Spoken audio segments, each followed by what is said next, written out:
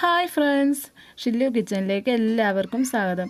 ഞാൻ ഇന്ന് വന്നിട്ടുള്ളത് നമുക്ക് സോഫ്റ്റ് ആയിട്ട് വീട്ടിൽ തന്നെ അടിപൊളിയായിട്ട് നമുക്ക് കുബൂസ് തയ്യാറാക്കാം. അതിന്റെ റെസിപ്പിയാണ് ഞാൻ കാണിക്കുന്നത്. എന്റെ ചാനൽ ആദ്യമായിട്ട് കാണുന്നവരാണെങ്കിൽ ഒന്ന് സബ്സ്ക്രൈബ് ചെയ്യണേ. എന്റെ കൂടെ ബെല്ലൈക്കൺ ക്ലിക്ക് ചെയ്താൽ ആളെന്ന ഓപ്ഷൻ വരും. അതുകൂടി ക്ലിക്ക് ചെയ്താൽ ഞാനിടുന്ന പുതിയ വീഡിയോസ് എല്ലാം നിങ്ങൾക്ക് നോട്ടിഫിക്കേഷനായി ലഭിക്കുന്നതാണ്. കുബൂസ് തയ്യാറാക്കാനായിട്ട് ആദ്യം നമുക്കൊരു ബൗളിലേക്ക് ഒന്നര ടീസ്പൂൺ ഈസ്റ്റ് ചേർത്ത് കൊടുക്കാം. ഇനി ഇതിലേക്ക് രണ്ട് ടീസ്പൂൺ പഞ്ചസാര. പിന്നെ വേണ്ടത് ഇളം ചൂടുള്ള വെള്ളമാണ്. അപ്പോൾ ഇളം ചൂടുള്ള വെള്ളം അര ഗ്ലാസ് ഞാൻ ചേർത്ത് കൊടുത്തിട്ടുണ്ട്. ഇനി നമുക്ക് ഇതൊന്ന് ഒരു ഇരുപത് മിനിറ്റ് മിക്സാക്കിയതിന് ശേഷം പൊങ്ങി വരാനായിട്ട് മാറ്റി വെക്കാം. ഒരിക്കലും തിളച്ച വെള്ളം ചേർത്ത് കൊടുക്കരുത്. നമ്മളെ ഈസ്റ്റ് കേടായി പോവും. ഇനി വേറൊരു പാത്രത്തിലേക്ക് മൂന്ന് കപ്പ് മൈദ ഞാൻ ചേർത്ത് കൊടുക്കുന്നുണ്ട്. ഗോതമ്പ് പൊടിയാണേലും കുഴപ്പമില്ല. ഞാൻ ഇപ്പം മൈദയാണ് ഉപയോഗിക്കുന്നത്. ഇതിലേക്ക് പാകത്തിന് ഉപ്പ് ചേർത്ത് കൊടുക്കണം. ഒരു അര ടീസ്പൂൺ ഉപ്പ് ഞാൻ ചേർത്ത് കൊടുക്കുന്നുണ്ട്. ഇനി നമ്മൾ മാവിന് നല്ലൊരു ടേസ്റ്റ് കിട്ടാൻ വേണ്ടിയിട്ട് പാൽപ്പൊടി രണ്ട് ടീസ്പൂൺ ഇട്ട് കൊടുക്കാം. വേണമെങ്കിൽ ചേർത്ത് കൊടുത്താൽ മതി. ചേർത്ത് കൊടുത്തിട്ടില്ലെങ്കിലും കുഴപ്പമൊന്നുമില്ല. അപ്പോൾ ഇത് നല്ലപോലെ മിക്സ് ആക്കിയതിന് ശേഷം നമ്മൾ എന്താ ഈസ്റ്റ് പൊങ്ങാൻ വെച്ചിട്ടുണ്ടായിരുന്നില്ല. ആ വെള്ളം കൂട്ടിയിട്ട് കുറച്ച് കുറച്ച് ചേർത്ത് നമുക്കിത് നല്ലപോലെ ഒന്ന് കുഴച്ചെടുക്കണം. ഇരുപത് മിനിറ്റിന് ശേഷം നല്ലപോലെ ഇത് പൊങ്ങി വന്നിട്ടുണ്ട്. നമ്മൾ ചപ്പാത്തിക്കൊക്കെ കുഴക്കണ ആ ഒരു പരുവത്തിൽ നല്ലപോലെ ഒന്ന് കുഴച്ചെടുക്കണം. ഈസ്റ്റ് ചേർത്ത് വെള്ളം കഴിഞ്ഞാൽ നമുക്ക് സാധാ വെള്ളം ഉപയോഗിച്ച് തന്നെ ഇത് കുഴച്ചെടുക്കാം. അഞ്ച് മിനിറ്റ് കൊണ്ട് ഞാൻ ഈ മാവ് ഈ ഒരു പരുവത്തിലാക്കി എടുത്തിട്ടുണ്ട്. ഇതൊക്കെ നല്ലപോലെ സോഫ്റ്റ് ആയിട്ട് നമുക്കൊന്ന് കുഴച്ചെടുക്കണം. അപ്പോൾ ലേശം പൊടി വെതറിന് ശേഷം നല്ല പ്രസ് ചെയ്ത് കുഴച്ചെടുക്കാം. ഒരു പത്ത് മിനിറ്റ് കൂടി. മാവ് നല്ലപോലെ സോഫ്റ്റായി കിട്ടിയാലുള്ളൂ നമുക്ക് നല്ല കുബൂസ് റെഡിയാക്കി എടുക്കാൻ പറ്റുള്ളൂ. അപ്പോൾ നമ്മൾ ഇനി മാവ് റെഡി ആയിട്ടുണ്ട്.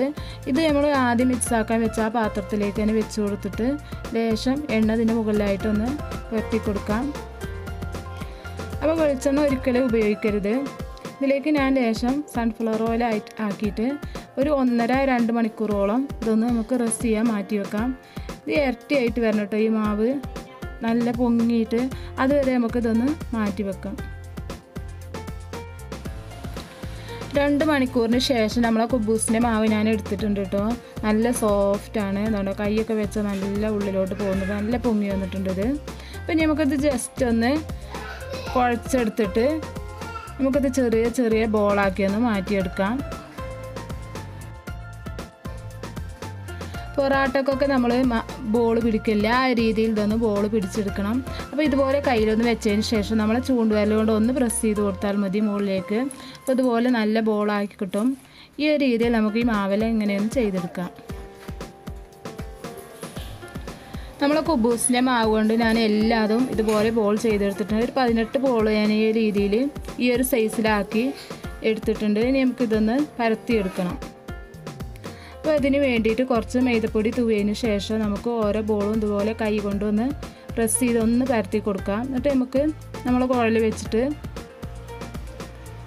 ചപ്പാത്തിക്കൊക്കെ പരത്തണ രീതിയിൽ തന്നെ നമുക്കത് പരത്തിയെടുക്കാം. നല്ല തിന്നായി പരത്തണ്ട. ഓവർ എന്താ കട്ടിയാവും ചെയ്യരുത്. ആ രീതിയിൽ നമുക്കൊന്ന് ഇത് പരത്തിയെടുക്കാം. ഈ ഒരു രീതിയിൽ വേണം നമ്മൾ കുബൂസ് തയ്യാറാക്കി എടുക്കാനായിട്ട് ഓവർ കട്ടിയും പാടില്ല എന്ന് പറ്റ നൈസ് ആവാനും പാടില്ല. ഇത് റെഡി ആയിട്ടുണ്ട്. ഇനി നമുക്കിത് ഓരോന്നായിട്ട് ഇതുപോലെ പരത്തിയതിന് ശേഷം ഒന്ന് ഇങ്ങനെ വേറെ വേറെ ആയിട്ട് സെപ്പറേറ്റ് ആയിട്ട് വെക്കാം. ഇതൊന്ന് ഇരുപത് മിനിറ്റ് വെയിറ്റ് ചെയ്യണം. ഒന്ന് ബബിൾസൊക്കെ ഒന്ന് പൊങ്ങി വരാനായിട്ട് നല്ല നല്ല സോഫ്റ്റ് ആയ കുബൂസ് നമുക്ക് തയ്യാറാക്കി എടുക്കാൻ പറ്റുക. അപ്പോൾ അത് ഇരുപത് മിനിറ്റ് ആയിട്ടുണ്ട്.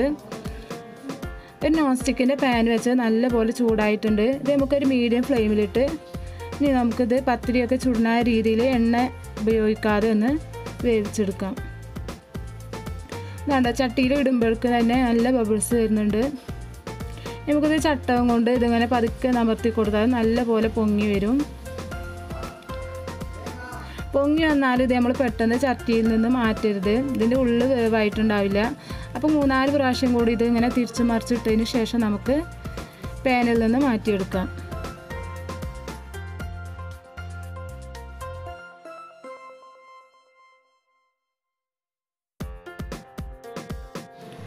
ഇപ്പോൾ ഫസ്റ്റത്തെ കുബൂസ് റെഡിയാക്കി എടുത്തിട്ടുണ്ട്. ഞാൻ ഈ രീതിയിൽ നമുക്ക് ബാക്കി എല്ലാ കുബൂസും ഒന്ന് വേവിച്ചെടുക്കാം. എല്ലാ കുബൂസും ഞാൻ ഈ രീതിയിൽ വേവിച്ചെടുത്തിട്ടുണ്ട്. ഇത് നല്ല സോഫ്റ്റ് ആണ് കേട്ടോ. കാണുമ്പോൾ തന്നെ അറിയാം നല്ല സോഫ്റ്റ് ആണെന്ന്. അപ്പോൾ ഈ രീതിയിൽ ട്രൈ ചെയ്യാത്തവരുണ്ടെങ്കിലൊന്ന് ട്രൈ ചെയ്ത് നോക്കാം. ഈ വീഡിയോ ഇഷ്ടമായാൽ തീർച്ചയായും ലൈക്കും കമന്റും ചെയ്യാം പിന്നെ നിങ്ങളെ കുടുംബങ്ങളിലേക്കും സുഹൃത്തുക്കളിലേക്കും എല്ലാവരിലേക്കും ഇതൊന്ന് ഷെയർ ചെയ്ത് കൊടുക്കുക. സബ്സ്ക്രൈബ് ചെയ്യാത്തവരുണ്ടെങ്കിൽ ഒന്ന് സബ്സ്ക്രൈബ് ചെയ്യുക. പുതിയ വീഡിയോസുമായി വരുന്നവരേക്കും താങ്ക്